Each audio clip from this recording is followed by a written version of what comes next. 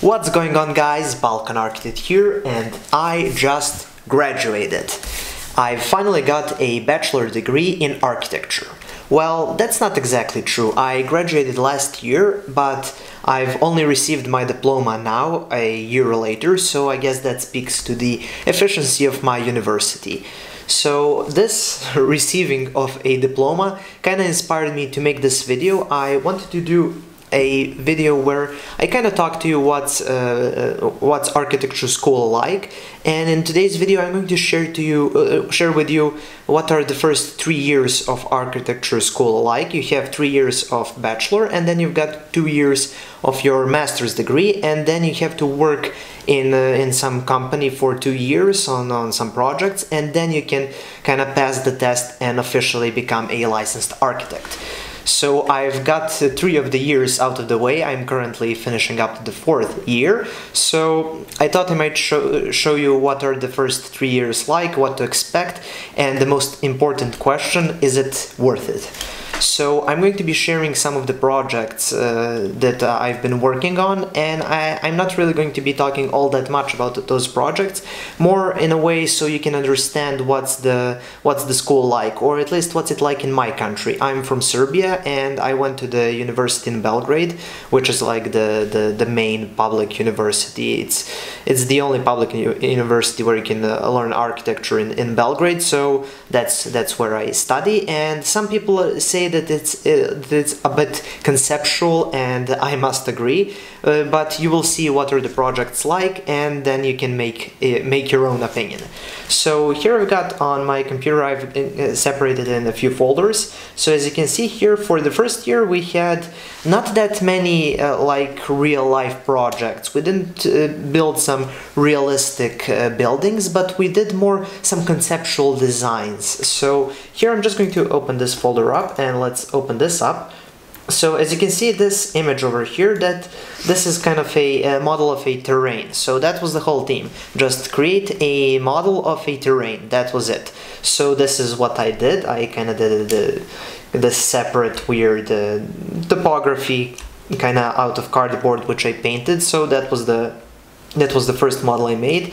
Then we had these uh, these walls that we had to create, so this is the image of that. Then we had a beach, so I decided to create a crowded beach by nailing a bunch of nails on a board. So that's what that was like. Then we had whatever this was, I don't even remember, and this was kind of like a bus stop or something like that.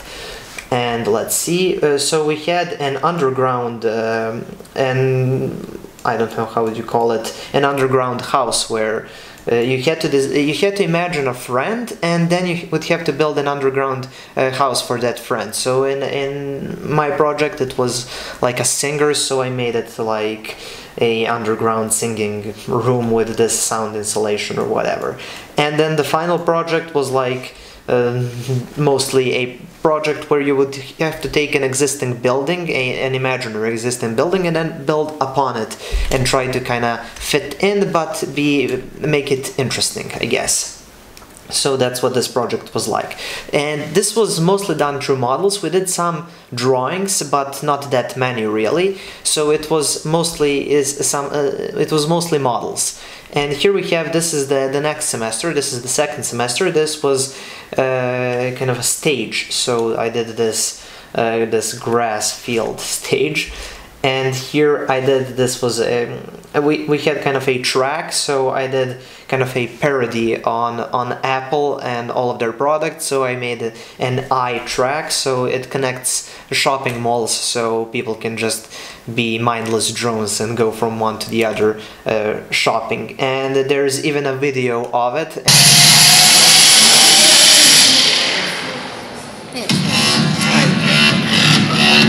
it was singing, it was loud, it was uh, it had lights in it, and the professors were shocked. But that was kind of my opposition to the complete absurdity of those classes that I had. And this is yeah this is those tracks. And then we had this project it was a light post or i guess you would call it a light post. So i, I actually have the model over here. This is this is what I've created. It was actually glowing as you can see on this image and on this image as well. So uh, I put placed a light over here in this hole and just a normal spotlight and then this whole thing was glowing so that was like one of my favorite projects I did that year. And moving on, okay, this is it for the projects. And also, first year, uh, there was a lot of graphic design uh, graphic design topics because first year when you get into architecture school nobody really knows how to present their project. So I guess they thought that it would be important to do some uh, graphic design some graphic design courses. So we had a bunch of them and it was very interesting at least for me. So I decided to to share them as well. So here I had this was like we had this symbol and then we had to kind of present it in a to, the, to do some sort of a graphic presentation of the symbol we received. Okay this is the second one. This was kind of the a 2d representation. This was a 3d representation. Then we had to do a uh, yeah this was 3D, this was, I don't know, some other sort of 3D. Uh, this was with some sections and elevations. This was the same thing with some dimensions. And here for the last one we had to present one of the projects we did that year so I chose this this model I called it the ice tower so I kind of did some graphic presentation for that and this was uh, this was kind of interesting for me. Okay so that's it for these uh, for the first year and those were the interesting topics. We had a lot of uh, like theory so we were learning about construction about uh, architectural history but that wasn't that important as uh, that doesn't look as good as the projects and i think the projects really show what's the school like and if you want leave it in the comment section below and i can talk about the kind of a theory classes that, that we had at university. Okay, so moving on to second year, now we're getting into some realistic projects, and this was probably one of the favorite projects of mine that I've ever did. So it was this, it was this house that's kind of embedded in a hill, so you can see over here, so it's kind of site embedded house so I, I just did it. It's a basic villa. Here we can see some 3D sections. This was the first time I got into Revit, so this was the, the first project I did in Revit and I was really proud of myself. Here you can see how, how I got to the project. So I started from this flat like two, two, two lines, then I make them triangular, then I kind of uh, embedded them into the ground on one side and then I separated them and made all of these all of these houses. Okay, next project. This was the first urbanism uh, project or uh, landscape design. We did kind of a neighborhood. So uh, in my uh, in my part of town there is a Chinatown, and it was near the this uh, the spot where we had for this project uh, the the site.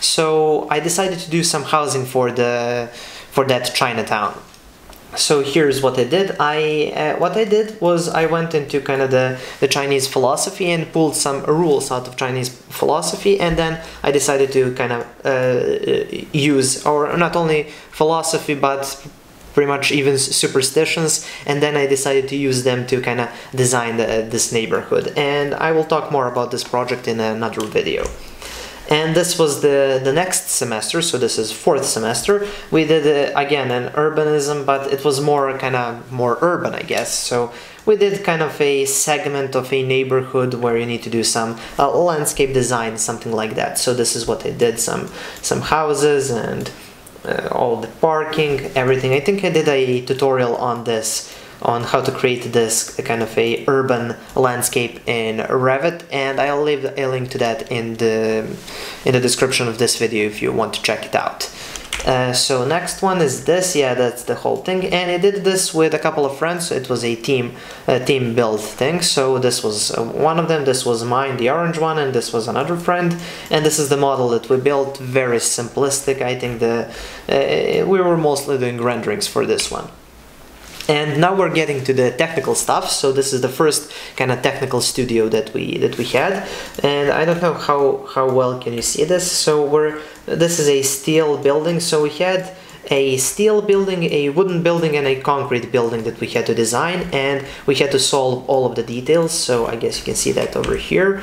This is another floor plan. As you can see, it's the whole steel building with all of the layers and walls and everything.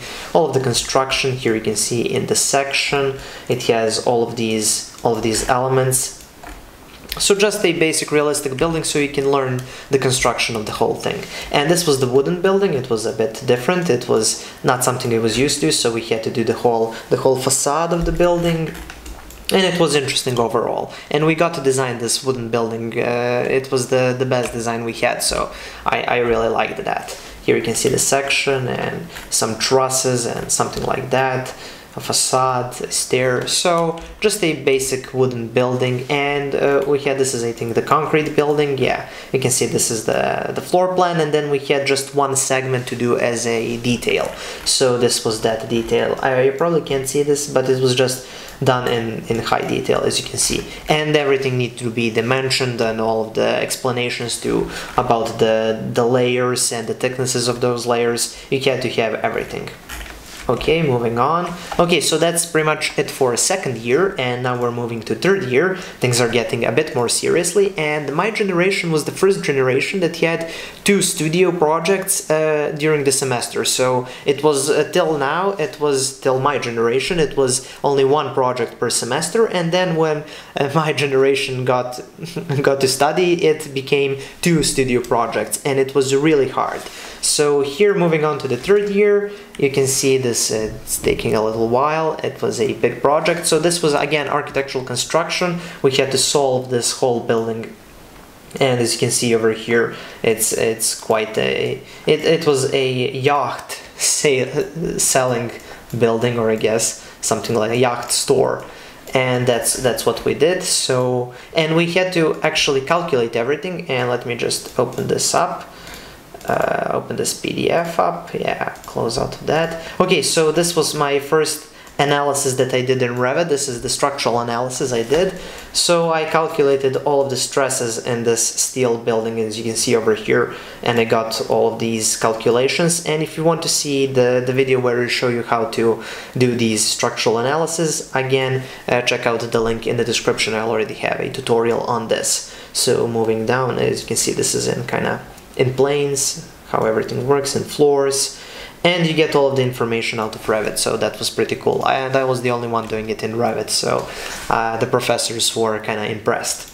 And moving on, so this is the project, I think I've shown you the, shown you the model of this project. This was just a basic housing project and I did kind of a project where you can, uh, where you have this huge frame and then when you buy your apartment you can set it up and customize it and color it the way you want and then you just insert it in the building by a crane. So everything is, is different and, and cool and this is the final project I did. So the last semester was kind of the, the final project and it was only one project per semester finally. So this is what we had and this was this huge building that that was both uh, kind of a uh, for residents or homes and it had a big kind of a shopping center or whatever attached to it and here you can see maybe the diagram of how it was assembled so I started with this location and then I kind of separated it. So this is the, that whole huge uh, shopping center or something like that. And here's where the uh, residential part is. And we have to solve all of the floor plans of course and make everything look nice. And this this is how the final design turned out Okay, so those were, I think, okay, one more. We had one more. This was uh, for construction systems. We had to uh, pick out a, an existing construction system and do a building in that construction system. So I thought this uh, folded plate, the, the construction design was quite cool. So I made this this uh, swimming pool, I guess, and it looked really cool. And again, if you want to see how these uh, flat planed uh, buildings are built in Revit, check out the link in the description. So those were the projects that I did during the first three years of school. That's what it's like in my country. And I, as far as is it worth it, I think it's definitely worth it to study architecture. Even if you're not going to be an architect, you learn that uh, very, very important combination between art and technology. You kind of get to experience both the artistic side and the technological side and even the psychological side where you have to think about how people feel in that building or how do they feel when they look at the building. So you kind of go through everything, pretty much the whole spectrum of life uh, during architecture school. So even if you decide not to go into architecture, uh, you you will have a very good set of skills and some very decent knowledge that you can use in real life, whatever career you, you choose to do. The only downside to architecture school is when people start, they don't really understand what they need to do and what's expected of them. So uh, I, like mo most of my friends, uh, we spent too much time working extremely hard on things that, well, when, when I really think about it, they didn't really have to be, uh, it didn't really have to be that hard. I think uh, people make it harder on themselves uh, when they when they study architecture because they want to create something good and they they don't know what's good because everything is subjective and you're usually just trying to impress the professor even if if that's not really why you're there you're there to learn not to impress a certain person so I think it's important to talk to older students and get some understanding of what is school like, what are uh, all the professors like, what's important in the end of the day. So th those are my tips for surviving the first year of architecture or uh, surviving your bachelor degree in architecture. Okay, so I think that's pretty much it for this video. Thank you for watching if you stick to this part. Uh, please uh, like this video, please subscribe, I make videos every day, even e either videos like this about architecture and architecture school, or some useful tutorials mostly about Revit. And also, tell me about your architecture school, what it's like. Tell me in the comment section below. Do you have, is it like this? Is it more technical? Is it more conceptual? What are some of the similarities and differences between your school and my school? I, I would really like to know what's it like in other schools. Okay, so that's pretty much it for this video and I will see you tomorrow.